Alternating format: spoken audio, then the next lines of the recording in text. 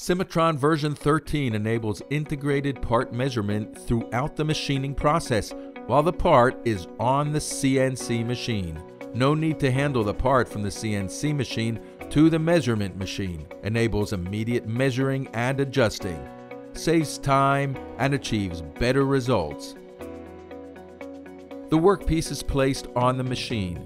The user can now align the coordinate system and set the home for the job.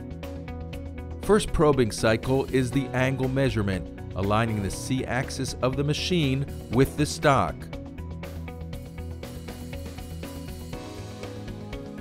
Next, the block center is found and the program home in XY G54 is set.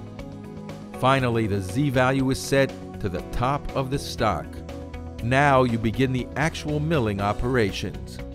In this case, a profile operation is chosen to cut the slanted slot.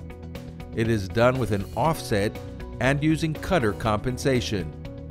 This can be used later to adjust the exact width of the actual slot on the part. Now a probing cycle is run to measure the resulting slot width. According to the actual width, the cycle is activating an optional action to run the profile operation again in a loop until the desired width dimension is achieved on the real part.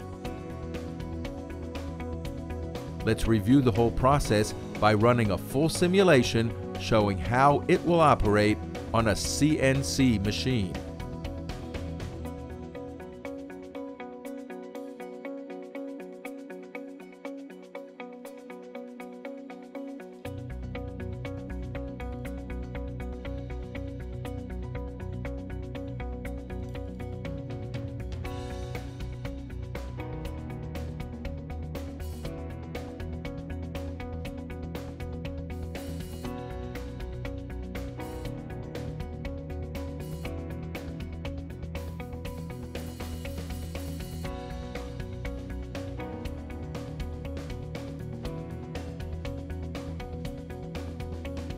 Additional probing measurements can also be conducted.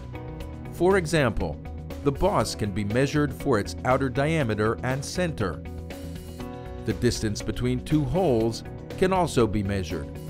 This new capability for optimizing the machining process by incorporating measurements on the CNC while the part is mounted on the machine delivers less handling, shorter project completion, and improved quality.